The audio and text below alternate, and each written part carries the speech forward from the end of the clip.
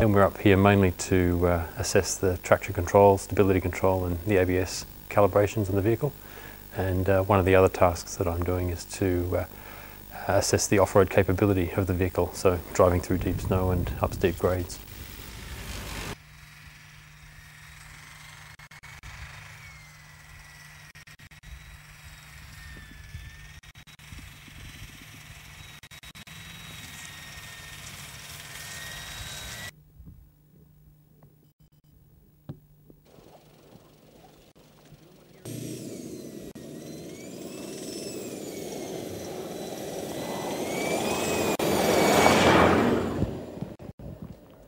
Uh, and we also have a number of handling tracks, uh, four in total, which uh, the handling tracks are good because, uh, because they're much narrower. It, uh, it gives the driver an opportunity to, to see how well rounded the vehicle is in terms of stability and its, uh, and its overall handling.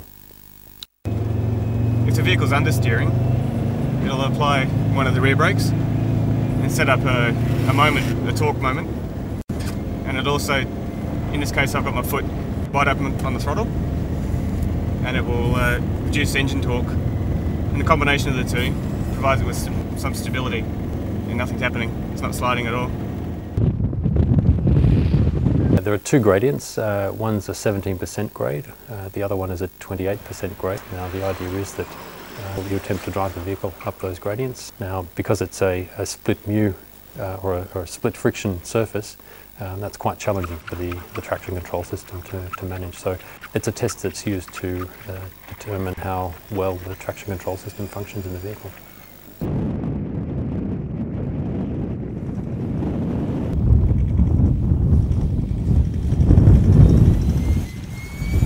degrees outside and so this ice will actually be fairly sticky and we have to actually polish it by constantly doing we'll turn the ABS off and we just basically slide along there we have to polish it about 10 times before we can do consistent measurements. Um, when you hear later in the winter season, the days warm up a bit more, and as it gets around about zero degrees, it's, it becomes very, very slick.